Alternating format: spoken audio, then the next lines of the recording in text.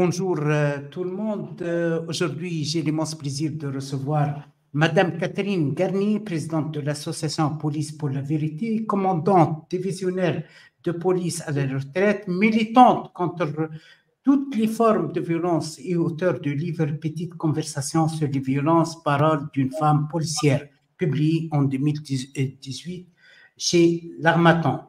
Euh, merci infiniment, Madame Garnier, d'avoir accepté notre invitation. C'est un honneur de vous recevoir aujourd'hui. Bonjour, Monsieur Dari. Ben, sachez que cet honneur, il est partagé. Euh, rien que déjà le, nom de, votre chaîne Espoir et Dignité, euh, pour moi, c'est tellement exceptionnel de rencontrer une, une, personnalité morale, mais aussi physique, qui porte ces deux mots euh, vraiment dans son, dans son titre et dans, dans, toute sa spiritualité, je veux dire, que je suis euh, touchée, vraiment touchée, très émue d'être avec vous et très reconnaissante. Merci beaucoup. Merci beaucoup, Madame Garnier. Je voudrais oh, commencer euh, par vous demander de définir, de présenter votre association Police et Vérité. Alors, Police pour la vérité, c'est une association qui a été créée par Sonia Vescovaci pendant le Covid, euh, en réaction à, on va dire, l'instrumentalisation qui a été faite euh, dans les pays européens, dans une grande partie des pays européens, de la police nationale, et notamment en France.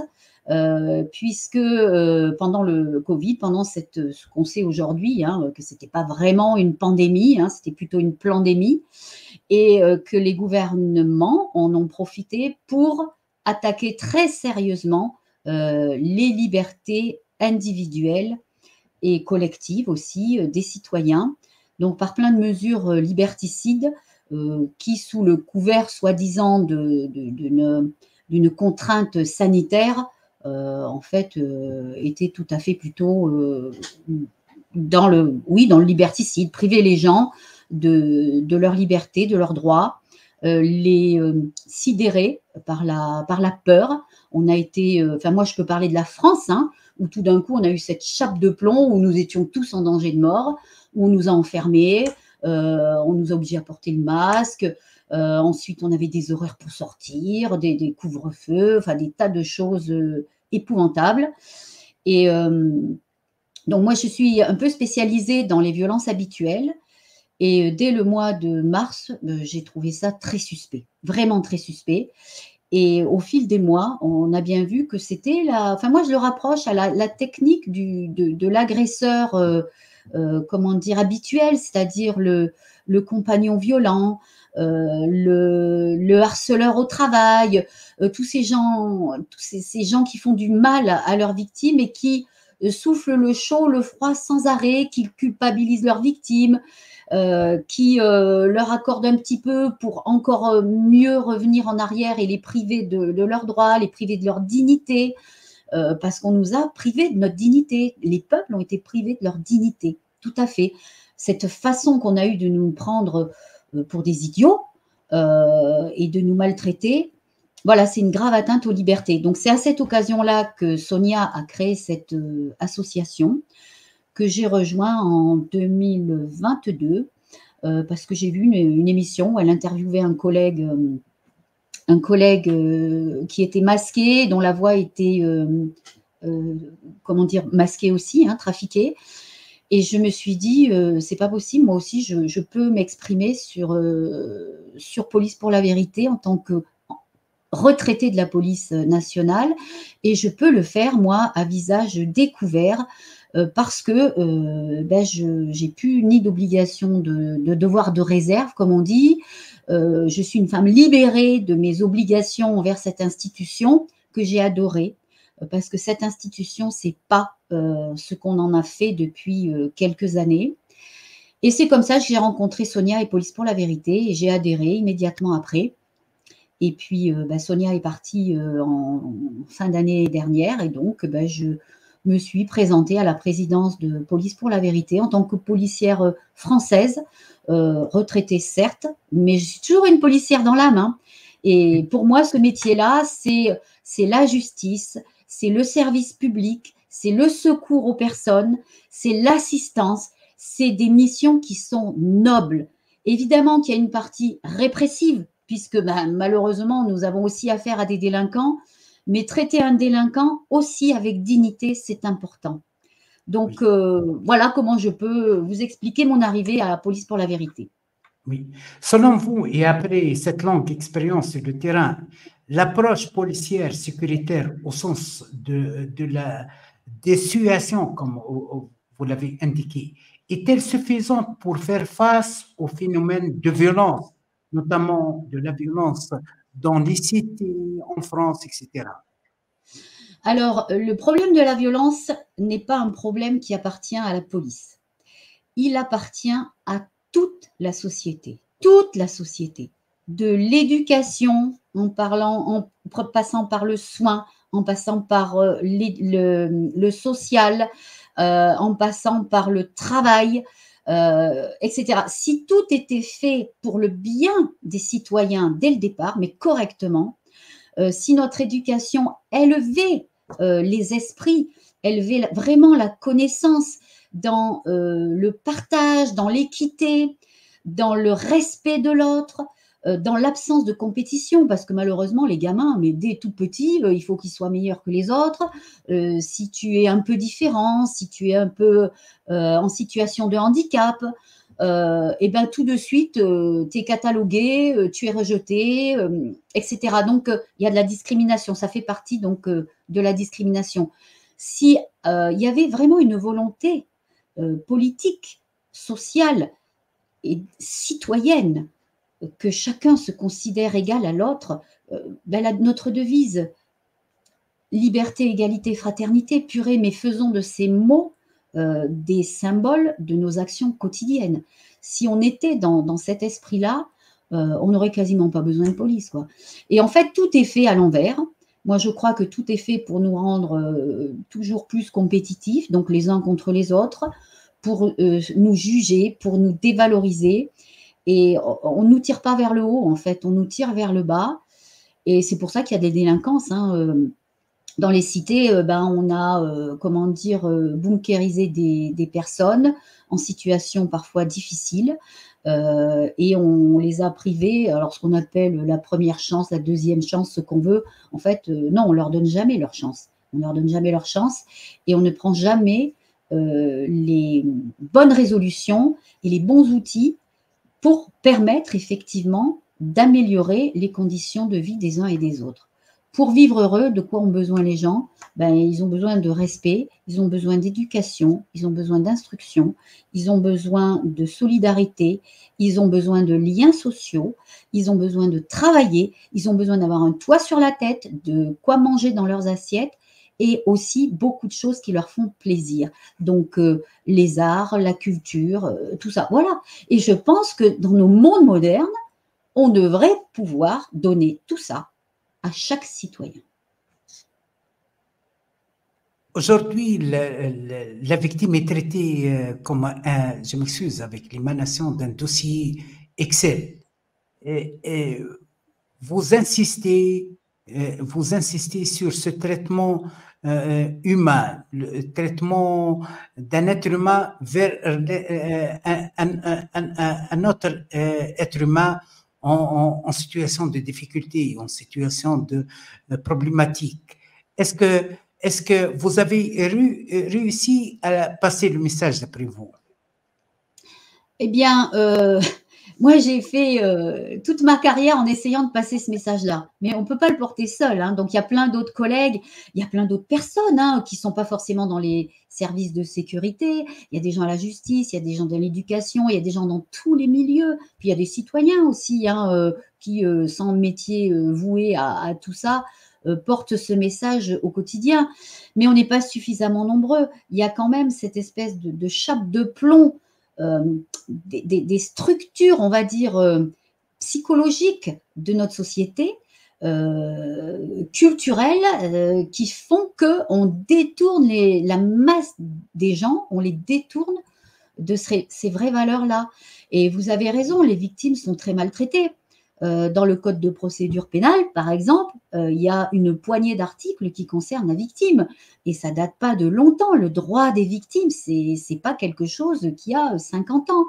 Euh, donc, les victimes sont la dernière roue du carrosse.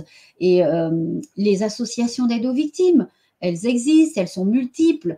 elles demandent des subventions pour pouvoir embaucher des salariés, que ce soit des juristes, des psys, des éducateurs, pour faire des actions comme des groupes de parole, des actions de prévention dans les établissements scolaires, etc. Mais tous les ans, elles doivent préparer des dossiers, mais monumentaux de demande de subvention. Et pour ce travail-là, euh, ben, elles vont avoir quelques miettes. Et il suffit de faire une action qui déplaise à ceux qui donnent euh, l'argent pour euh, voir ces subventions diminuer. Enfin, ça, c'est la réalité. Donc, les, ces associations qui font un, travail extraordinaire, que normalement, ça devrait être un service public, ça. Ça devrait être payé avec nos impôts, je suis désolée. Hein. Et ça devrait être, comment dire, institutionnalisé. Ces associations, pour la plupart, elles le sont euh, tout le temps sur le fil du rasoir au niveau budgétaire. Donc, euh, elles comptent tout elles vont avoir besoin d'une juriste à temps partiel, et ben elles vont prendre une juriste à 20%, euh, d'un psychologue euh, ou deux, et ben elles vont euh, pas pouvoir avoir le nombre de postes qu'elles veulent parce qu'elles n'ont pas assez d'argent. Donc oui, les victimes sont mal, mal considérées.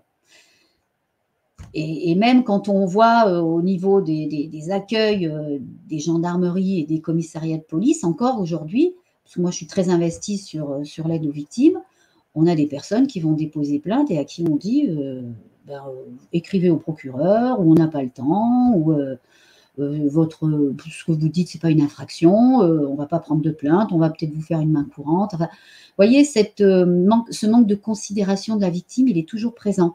Il y a des progrès, il y a des progrès qui ont été faits, mais on ne devrait plus le voir du tout, du tout. Et la formation des professionnels, est aussi une valeur sûre pour arriver à, un meilleur accueil des victimes. Parce que ne pas former correctement les gens qui accueillent les victimes, c'est aussi un manque de considération pour les victimes. On ne vous entend pas. oui, Ma dernière question, je sais bien que vous êtes une femme directe, libre, libre, avec beaucoup d'éthique. L'opinion qui est prévue aujourd'hui dans le monde à propos de la, de la police française, surtout après les incidents des assassinats qualifiés de violence policière et tout, et qu'il s'agit d'une police violente, raciste, qui adopte les idées de l'extrême droite. Quelle est votre euh, réponse? Alors moi, je vais vous dire qu'il ne faut pas généraliser, parce que la police, c'est un ensemble et dedans, il y a euh, des, milliers de fonctionnaires de police. Et c'est pareil pour les gendarmes, des, milliers de gendarmes. Je crois qu'on est à 150 000 à peu près gendarmes. Et pareil euh, au niveau de la police nationale. On ne peut pas mettre tout le monde dans le même bain. Je crois que ce qu'on retrouve dans la police nationale ou dans la gendarmerie, on le retrouve dans la magistrature, on le retrouve dans l'éducation, on le retrouve aussi dans la population globale de notre pays. Nous avons des gens euh, partout, qui sont violents, qui sont racistes, qui sont discriminants, qui sont voilà. Donc je pense pas qu'il y en ait plus dans la police nationale que euh, ben, dans la société. En fait, c'est on va dire c'est un pourcentage de, euh, de, population dans chaque milieu concerné. Et voilà, donc par contre, effectivement, cette police, elle a été énormément instrumentalisée contre, contre les citoyens. On l'a vu avec les Gilets jaunes, ça a été, ça a été une horreur. Effectivement, les blessures que vous avez évoquées, voire euh, les morts euh, qui ont été euh, consécutives à, ces opérations de police. On l'a vu à, Sainte-Soline sur l'histoire des bassines. Aujourd'hui, en France, les, gens peuvent plus manifester, peuvent plus manifester. et alors, il y a dans les manifestants aussi des personnes violentes, et là c'est pareil, il ne faut pas généraliser. Il y a aussi dans les manifestations des gens qui s'introduisent d'ailleurs, pas forcément des gens qui sont euh, venus pour la manifestation avec l'état d'esprit euh, de défendre une idée, un projet, des valeurs. Il y a aussi des électrons euh, libres, hein, les, fameux black blocs, hein, euh, dont on peut émettre euh, vraiment des questionnements sur leur origine, par qui sont-ils commandés. voilà, ça, a déjà été soulevé par d'autres policiers ou autres personnalités que moi-même. Hein. on sait aussi que ces, groupuscules violents, extrêmement violents, sont euh, manipulés par le pouvoir politique. Donc ça, c'est quelque chose dont, il faut être conscient. Euh, donc ça donne effectivement une très mauvaise image de, notre police et de notre gendarmerie aussi.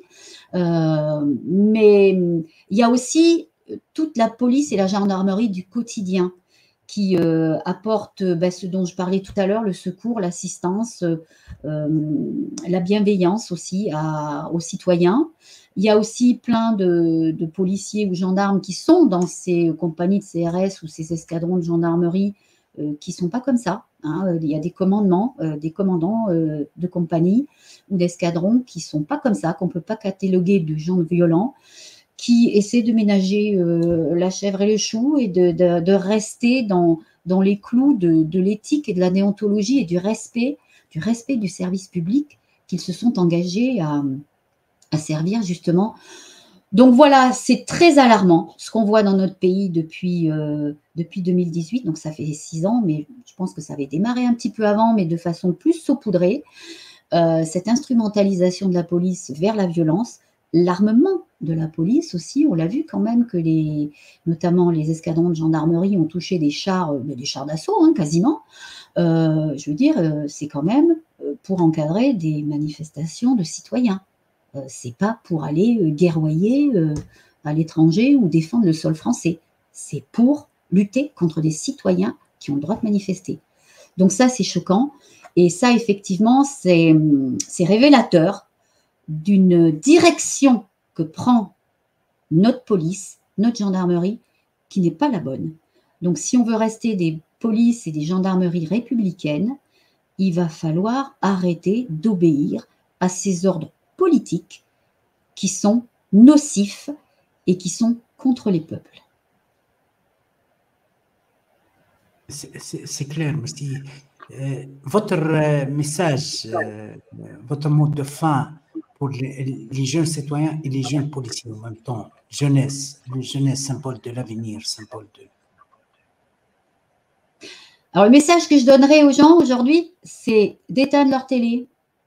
Éteignez vos télés. Tout ce qu'on nous dit dans les télés officielles est euh, mensonger. Euh, on ne nous donne que des informations pour nous terrifier et nous asservir.